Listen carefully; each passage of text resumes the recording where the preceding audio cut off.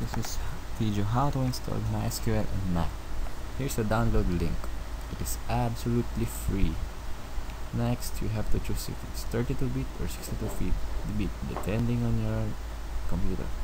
Double click the DMG file to start installation. Next, just have to choose MySQL package. Depends on 64-bit or 32-bit.